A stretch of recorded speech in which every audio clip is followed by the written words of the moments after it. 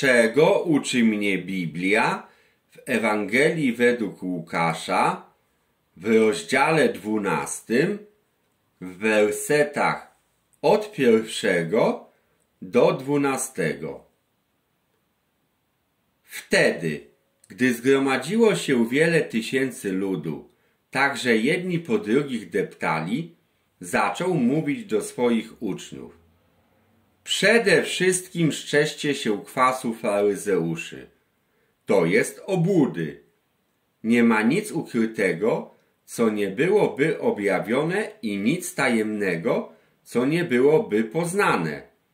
Dlatego, co mówiliście w ciemności, będzie słyszane w świetle i co szeptaliście do ucha w komórkach, głoszone będzie na dachach.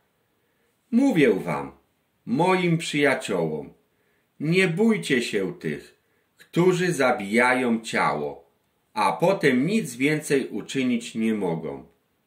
Pokażę wam natomiast, kogo macie się bać. Bójcie się tego, który gdy zabije, ma władzę wrzucić do ognia piekielnego. To wam mówię, tego się bójcie. Czy pięciu wróbli nie sprzedają za dwa grosze? A ani jeden z nich nie jest zapomniany przed obliczem Bożym. Również włosy na waszej głowie wszystkie są policzone. Nie bójcie się więc. Więcej znaczycie niż wiele wróbli. Mówię wam, ktokolwiek przyzna się do mnie przed ludźmi, do tego i Syn Człowieczy przyzna się przed aniołami bożymi. A kto zaprze się mnie przed ludźmi, tego i ja zaprę się przed aniołami bożymi. Każdemu, kto powie słowo przeciwko Synowi Człowieczemu, będzie odpuszczone.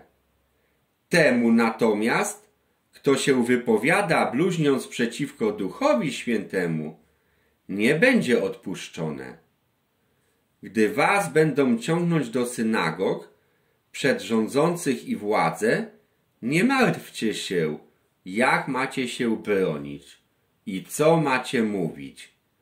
Bo Duch Święty nauczy was w tej godzinie, co należy mówić.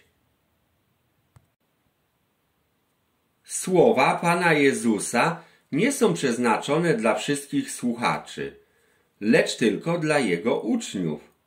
Jego słowa zawierają oszczerzenie, pokrzepienie i pocieszenie.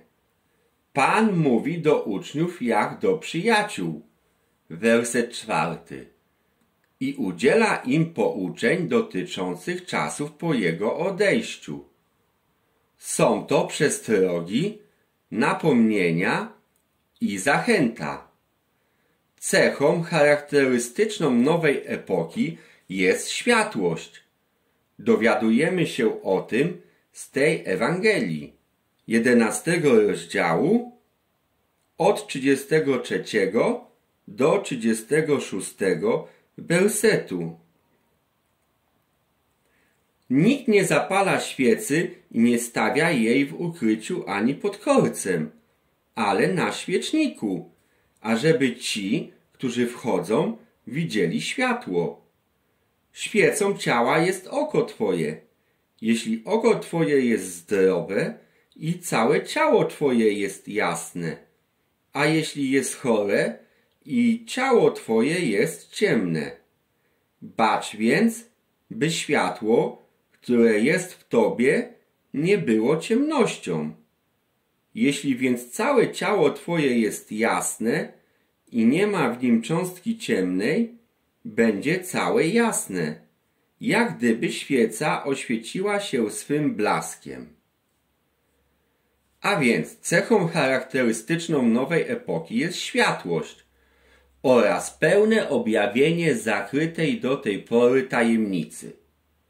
Dowiadujemy się o tym z listu do Kolosan pierwszego rozdziału i dwudziestego szóstego wersetu tajemnicę, zakrytą od wieków i od pokoleń, a teraz objawioną świętym Jego. Chodzi tu nie tylko o Boga i Jego myśli, ale też o nasze serca i życie. Chociaż Pan zarówno uczniom, jak i nam, Jego świadkom, nie obiecuje przyjemnego życia. Wielokrotnie może przyjść doświadczenie aż do śmierci męczeńskiej włącznie. Udziela nam jednak wielkiej zachęty. Codzienna pamięć o naszym cudownym Bogu, którego uwadze nic nie uchodzi i który troszczy się nawet o włosy na naszej głowie, mogą usunąć wszelką bojaźń z naszych serc. Dowodem, który potwierdza prawdy zawarte w wersecie dziesiątym, jest życie apostoła Pawła i sytuacja narodu żydowskiego. Paweł sam nazywa się bluźniercą, prześladowcą i gnębicielem. Pierwszym z grzeszników. A jednak jako taki dostąpił miłosierdzia. Dowiadujemy się o tym z pierwszego listu do Tymoteusza, pierwszego rozdziału, od 13 do 15 wersetu. Mimo to, że przedtem byłem bluźniercą i prześladowcą i gnębicielem, ale miłosierdzia dostąpiłem, bo czyniłem to nieświadomie, w niewierze. A łaska Pana naszego stała się bardzo obfita wraz z wiarą i miłością, która jest w Chrystusie Jezusie. Prawdziwa to mowa i w całej pełni przyjęcia godna, że Chrystus Jezus przyszedł na świat, aby zbawić grzeszników, z których ja jestem pierwszy.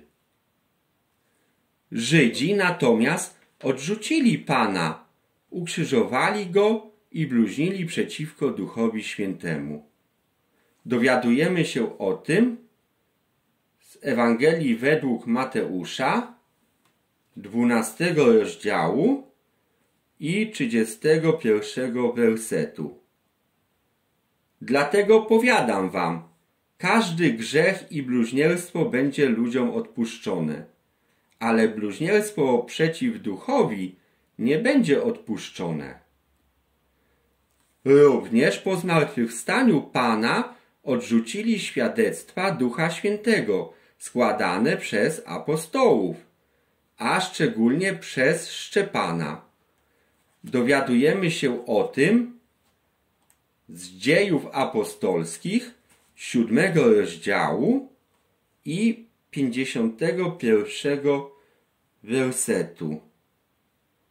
Ludzie twardego karku i opornych serc i uszu, wy zawsze sprzeciwiacie się Duchowi Świętemu, jak ojcowie wasi, tak i wy.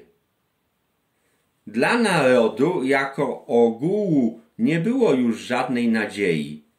Wina ta nie została odpuszczona. Dlatego Boży Sąd dotknął ten naród.